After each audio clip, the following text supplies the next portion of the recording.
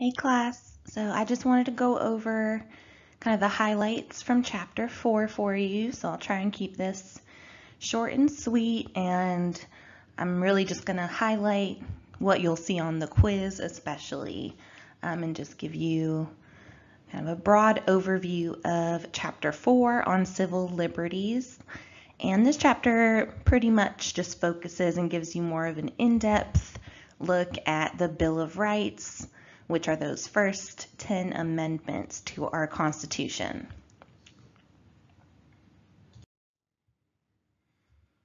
So a little intro. Again, the Constitution, as it was originally written by the founders, didn't really guarantee that many rights or liberties to citizens. It was more about the organization of the government and who would have power and for how long and who would elect who.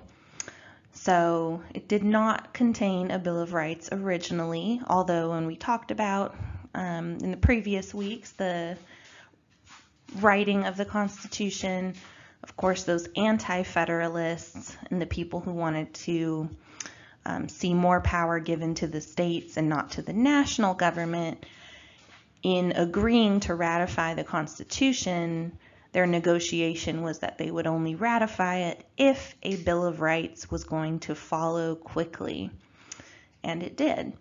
So, many of the framers thought that they had adequately covered citizens' rights in the original text of the Constitution. So, those Federalists thought that they had, and they pointed to Article 1, Section 9 of the Constitution to kind of defend their um, perspective. And if we look at Article 1, Section 9, it does list three um, specific protections against government overreach. So this will be one of your quiz questions here. So um, what are those three liberties or rights that are covered in Article 1, Section 9? So number one, it prohibits the passage of bills of attainder. And that basically means you can't pass a law and convict or punish someone for a crime without a trial.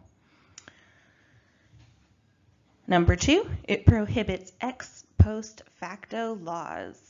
That means if you smoked a cigarette today and the government tomorrow outlawed or banned smoking cigarettes for anyone, um, and then the government came to you and said, well, you're under arrest for smoking a cigarette, um, the day before we passed this law, that would be unconstitutional. So you can't pass a law and then retroactively punish someone for um, disobeying a law that wasn't a law at the time it was committed. Number three, um, the Congress is limited in its ability to suspend the writ of habeas corpus. And that means the guarantee that a neutral judge will decide whether someone has been lawfully detained.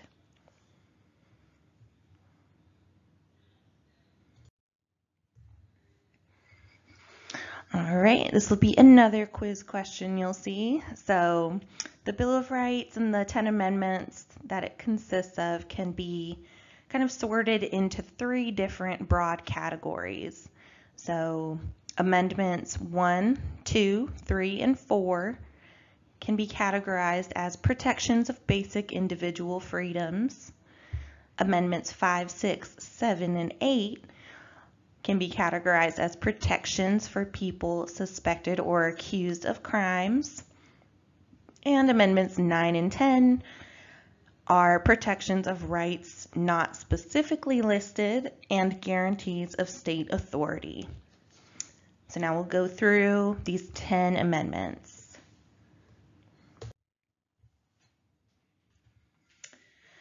There's um, one, two, three questions on the quiz that come out of the material on the First Amendment. So we're going to really focus in on the First Amendment here for a minute. So the First Amendment, arguably the most famous and the most extensive of the provisions within the Bill of Rights. There's a lot covered in this one little sentence. So it guarantees both religious freedoms and the right to express our views in public. And it reads, Congress shall make no law respecting an establishment of religion or prohibiting the free exercise thereof or abridging the freedom of speech or of the press or the right of the people peaceably to assemble and to petition the government for a redress of grievances. So the First Amendment contains a whole lot in there. So we're going to kind of pick apart each each clause within the First Amendment. So number one, we've got the Establishment Clause. And the First Amendment protects two types of religious freedom. So number one, it says that the federal government can't have an official sponsored religion the way that um, you know England and the Church of England had. And number two, it says that the government cannot prohibit any citizen from exercising the religion that they want to. So that first part, saying that the government cannot establish an official religion, is what we call the Establishment Clause, and that protects people from having a set of religious beliefs imposed on them by the government.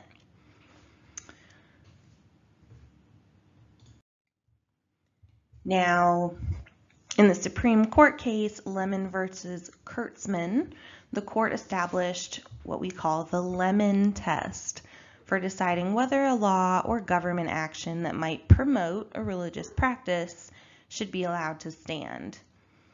So we'll go through the criteria and then I'll give you an example of um, what this means and how it applies to the First Amendment. So the Lemon test, it has three criteria that have to be met if a law that might be suspected of promoting religious practice um, is going to be found constitutional. So number one, the action or law must not lead to excessive government entanglement with religion.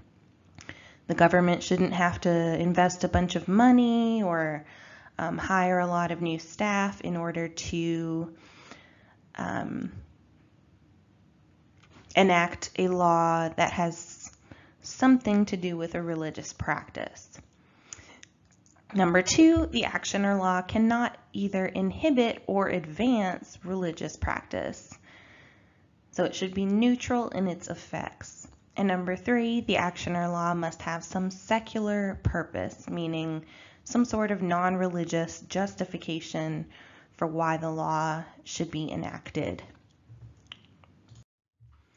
So here's an example. So imagine Georgia decided to fund a school voucher program that allows children to attend private and parochial schools at public expense.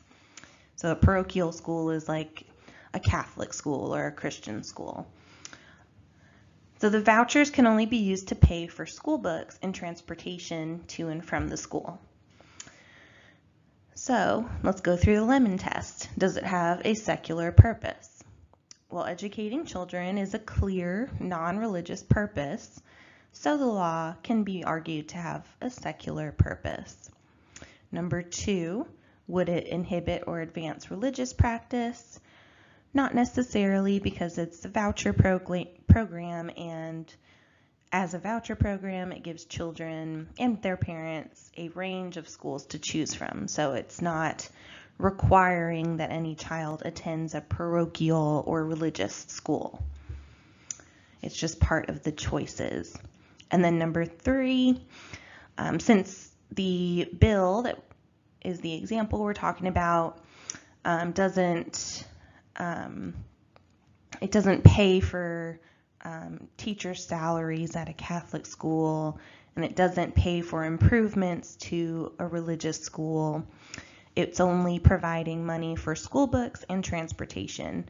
And so for that reason, the courts would argue it's probably unlikely the program would lead to excessive religious entanglement because providing school books and transportation is something that's pretty regularly provided by the government regardless of um, religious entanglements.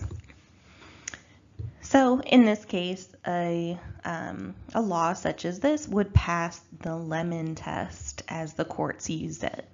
However, again, if the law did allow for um, the voucher funding to pay um, a Catholic teacher's at a Catholic school um, their salary or pay for the improvements to a religious school's facilities, it would be more difficult to argue that that law would not lead to government entanglement with religion. So the second part of the First Amendment, um, so our second clause has to do with freedom of expression, including our rights to speech, press, assembly, and petition.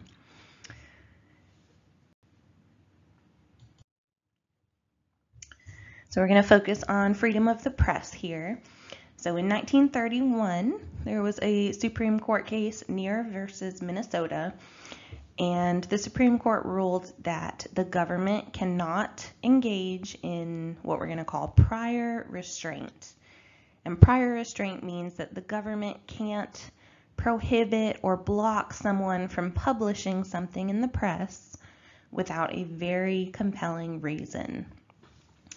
So if you've ever um, studied kind of the Vietnam War, War era in the U.S., um, you might have heard of the Pentagon Papers, which were kind of these top secret materials that came out of um, the military apparatus. And um, the papers, a lot of them showed that certain events were presented to the U.S. people um, in order to kind of convey um, the necessity of having to fight the in the Vietnam War. Um, and sometimes those um, facts that facts quote unquote that were presented to the people in the U.S. were not entirely true. So the Pentagon Papers kind of made that clear for everyone in the U.S. And um, the New York Times and the Washington Post both received copies of the Pentagon Papers and um, wanted to publish them, of course, to let the people know what was in them. And the case went to the Supreme Court in 1971, in the case New York Times Company versus the United States. And the Supreme Court decided that because of this practice of prior restraint. It was unconstitutional to block the New York Times or the Washington Post from publishing these papers. So you'll be seeing the words prior restraint on your quiz. So just remember it means that the government cannot prohibit somebody or stop somebody from publishing something without a very compelling reason. However, the courts have also decided over the years that our right to freedom of expression is not absolute. So there are exceptions when the courts will say um, it's fair to limit someone's freedom of expression. So what are those limitations? Um, number one, if someone's inciting a criminal act, um, if they're saying fight, fighting words and declaring genuine threats that are that seem to be immediate. Um, those would not be protected. Then the Supreme Court has allowed laws that ban threatening symbolic speech. So things like burning a cross on um, an African American family's home, that would be a threatening form of symbolic speech. Number three, if um, someone is defaming someone else's character, in other words, making false accusations and giving that to the press, that's not protected under our freedom of speech. And obscene materials are not protected.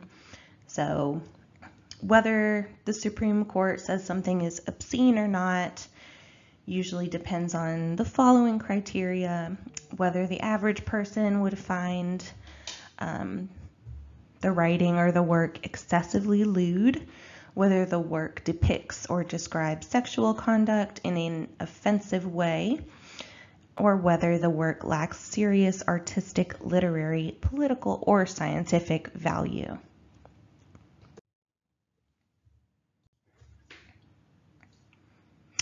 The First Amendment also protects our right to assembly, as long as it's peaceful, and the right to petition government officials. So to call your congressman and complain that you don't like that he voted on a particular bill. So we have the right to do that.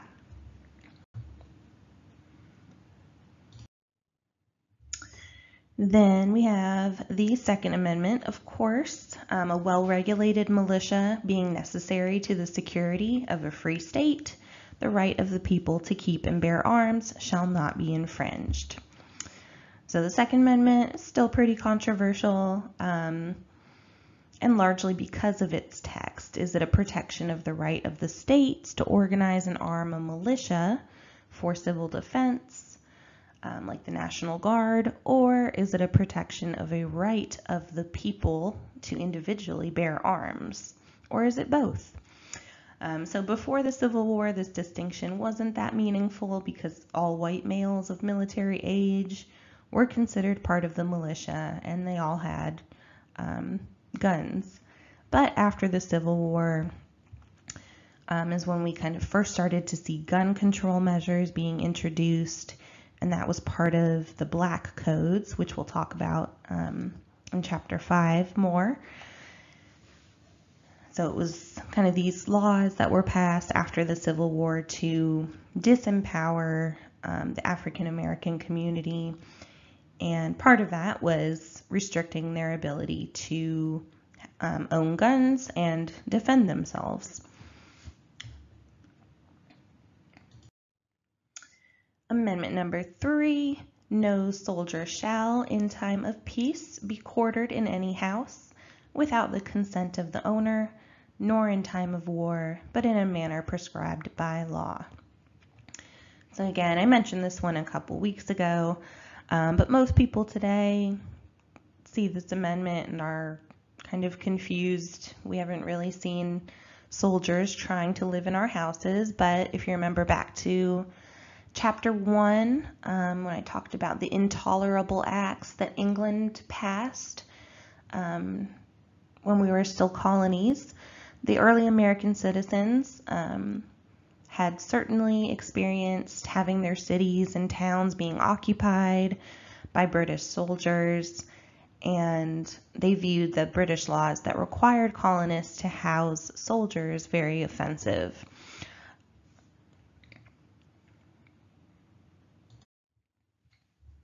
Amendment number four, um, the right of the people to be secure in their persons, houses, papers, and effects against unreasonable searches and seizures shall not be violated, and no warrants shall issue but upon probable cause, supported by oath or affirmation, and particularly describing the place to be searched and the persons or things to be seized. So the Fourth Amendment protects us from kind of these overzealous efforts by law enforcement to root out crime. And it does this by ensuring that police and law enforcement have good reason before they intrude on people's lives with criminal investigations. It guarantees that we can expect a certain degree of privacy from government intrusion in our homes. So certainly the recent case of Breonna Taylor, um, you've heard a lot of mentions of the Fourth Amendment um, as her case and lawsuits, uh, her family's lawsuits have um, gone on. So also in the Fourth Amendment, um, you have limitations on both search, searches and seizures.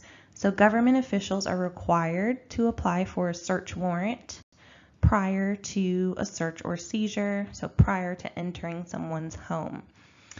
And this warrant is a legal document, it's signed by a judge, and it specifically allows the police to search and or seize particular persons or property. And importantly, in order for a judge to allow a warrant to be issued, the law enforcement officials have to demonstrate probable cause, meaning that um, they have some sort of proof that a crime has been or will be committed to justify getting that warrant. So it can't just be hearsay. They need to present the judge with very specific um, documented proof that getting into someone's home and searching and seizing is necessary.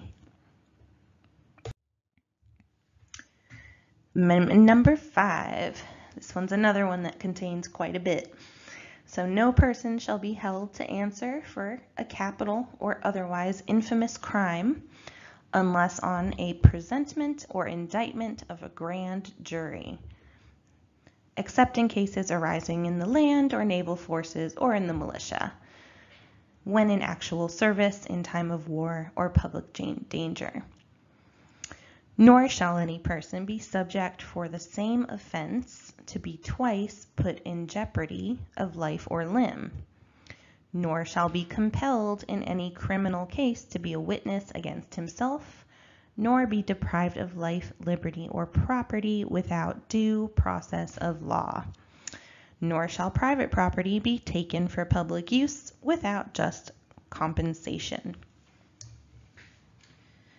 So the First and the Fifth Amendment both contain um, quite a lot in them. So Fifth Amendment, if you look at that little graphic here, you've got a right to be tried by an impartial grand jury of your peers. You've got a right to due process under the law.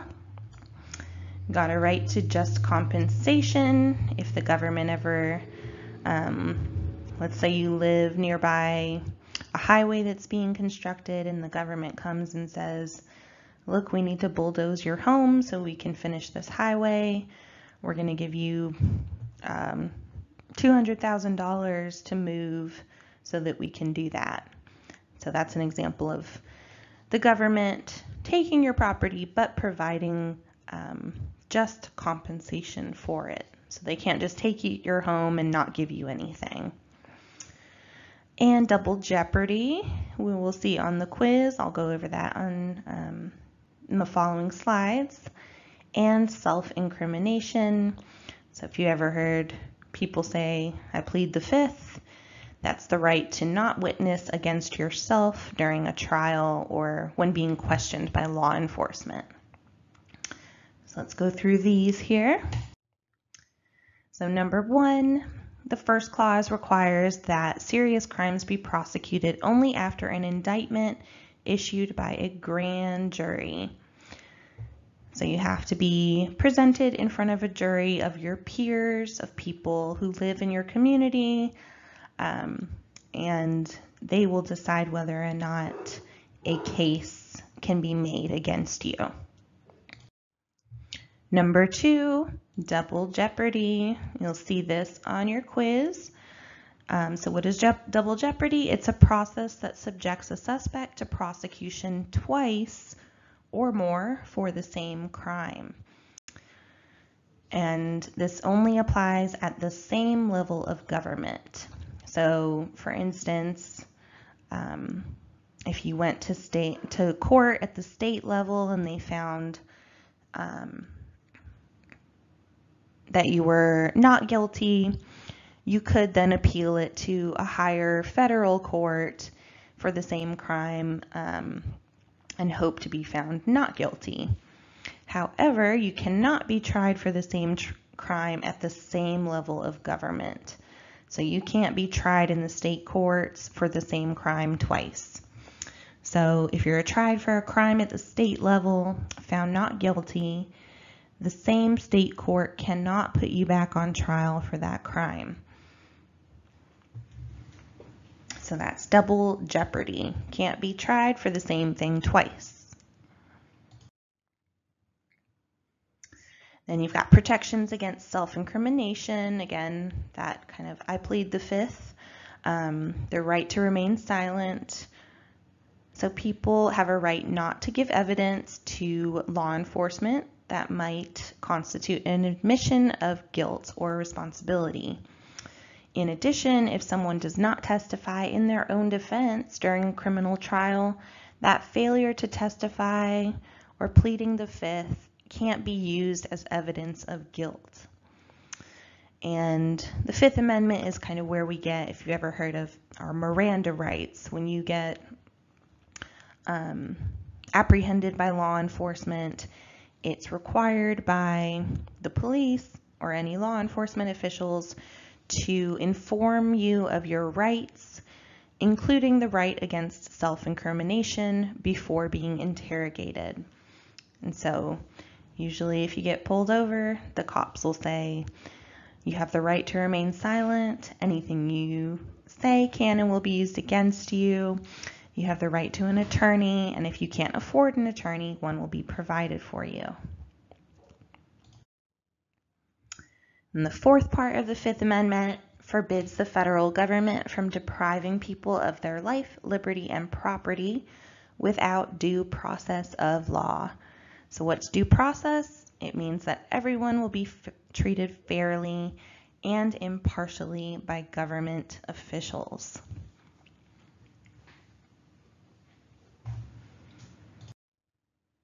And the last part of the Fifth Amendment is that takings clause, which limits the government's ability to take your personal property away. So the government does have um, this economic liberty that we refer to as eminent domain, meaning that if the government decides that they need a certain property in order to pursue redevelopment or infrastructure, they have a right to do so. Um, and they have a right to go to anyone who's kind of owns private property in that area that the government needs and offer that person a certain amount of money in order to relocate.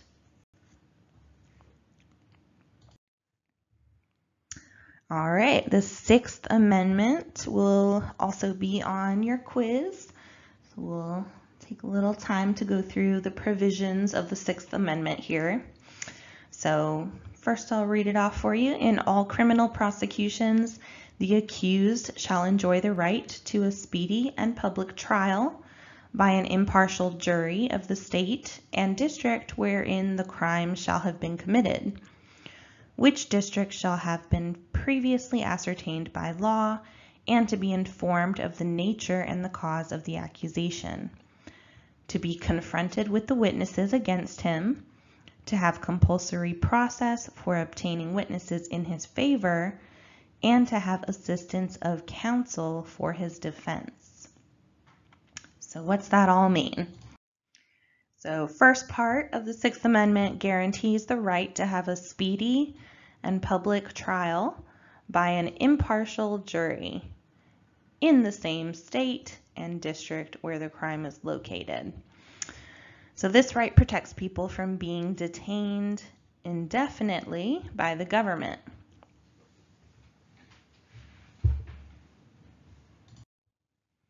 The second part guarantees the right of those of accused of crimes to present witnesses in their own defense. So law enforcement can't just put a bunch of witnesses against you up you have the right to bring in your own witnesses when you're in court to defend you.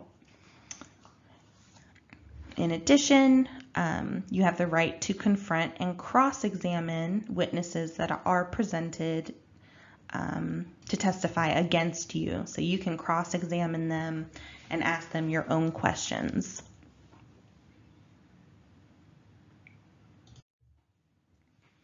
Number three guarantees the right of those accused of crimes to have the assistance of an attorney in their defense, kind of what we call today a public defender.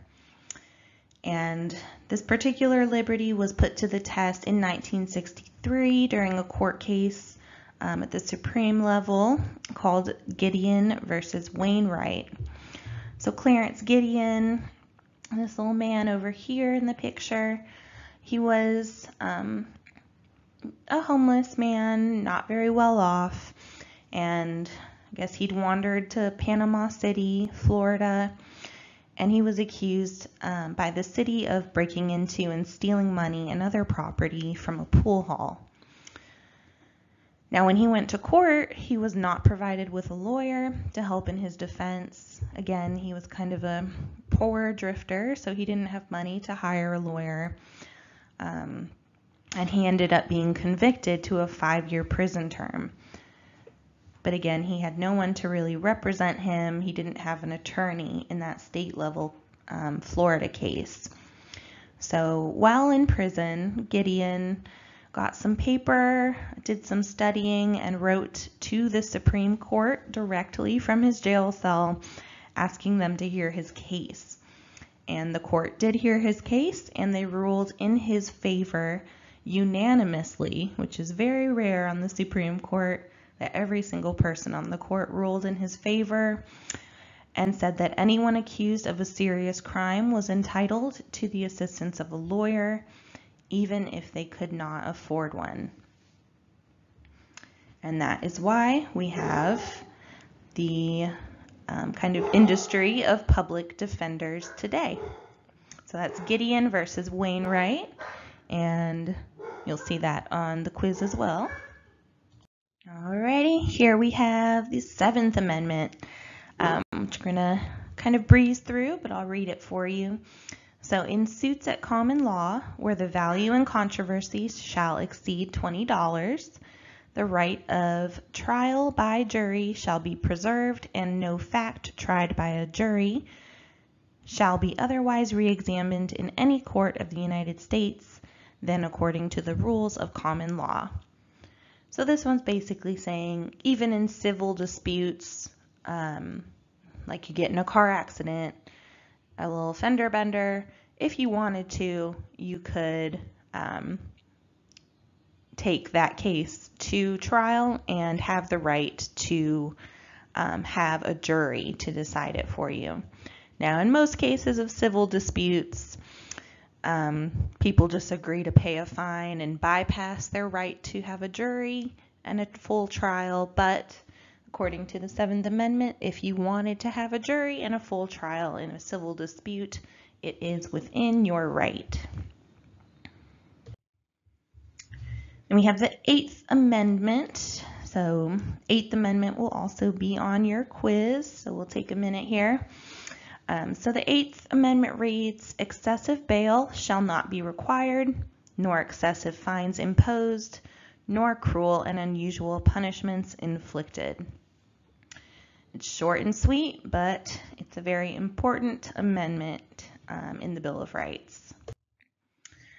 So number one, bail. It's a payment of money that allows a person accused of a crime to be freed until their trial, so they don't have to sit in jail till the, their trial date. So if you don't show up for your trial after paying your bail, you forfeit the money you paid. Um, and then in this day and age, a lot of people can't afford their bail, so they might get a bail bond, which allows them to pay maybe 10% of the bail to another person who then sells the bond and pays the full amount. Um, if you ever heard of, Dog the Bounty Hunter, he's a bail bondsman. Um, and then people who are believed likely to flee or who pose a threat to the community or the country usually are not offered bail. So that's bail, and the Supreme Court has ruled that an excessive fine is one that is, quote, so grossly excessive, so, so obviously excessive, that it forces a person to sell all or most of their property to pay it, or, quote, grossly disproportional to the gravity of the crime in question. So, for instance, in this little comic up top, the judge says, You're going to jail for 22 years, pal. And this little child is crying and says, I took a candy bar. So that would be a grossly disproportional sentence to the crime. If you stole a dollar candy bar, going to jail for 22 years is a little bit or a lot excessive um, in terms of your punishment.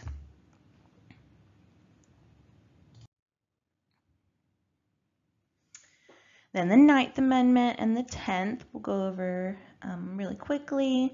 We've got the Ninth that says the enumeration in this Constitution of certain rights shall not be construed to deny or disparage others retained by the people.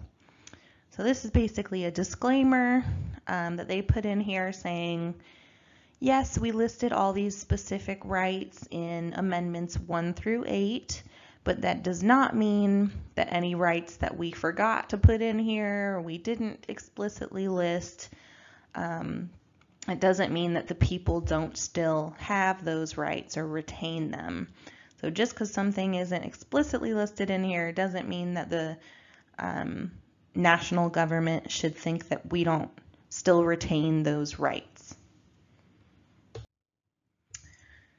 So again, to ensure that those interpreting the Constitution in the future would recognize that the listing of freedoms and rights in those previous eight amendments was not an exhaustive list.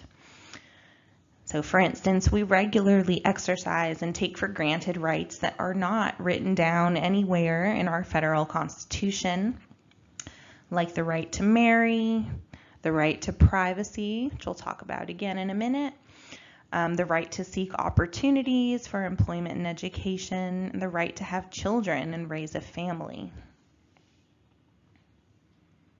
So not everything's written down, but the Ninth Amendment says that just because it's not written down doesn't mean that they're not our rights. And the Tenth Amendment, back to this push and pull between national power and state power. Um, it reads, the powers not delegated to the United States by the Constitution, nor prohibited by it to the states, are reserved to the states respectively or to the people. So basically anything that's not listed in the Constitution or the Bill of Rights as a specific um, responsibility of the national government, like um, maintaining a military and coining money, so things like that are specifically listed for the national government, but anything that's not explicitly listed or not explicitly um, prohibited or disallowed to the states are reserved to the states. So that was kind of that disclaimer that the Anti-Federalists put in there to ensure that the national government wouldn't take um, more power than they should. I said we'd come back to right to privacy, so this will be um, your 10th question for chapter 4 on the quiz. So just keep in mind that the term privacy does not actually appear in the Constitution or the Bill of Rights. And so commonly, um, we talk about our right to privacy, but in terms of what is explicitly stated in the Constitution or the Bill of Rights, privacy doesn't appear anywhere. However, a lot of scholars have interpreted several of those Bill of Rights um, provisions and amendments as an indication that the framers sought to protect a common law right to privacy, a right to be free of government intrusion into our personal life, particularly within the boundaries of our home.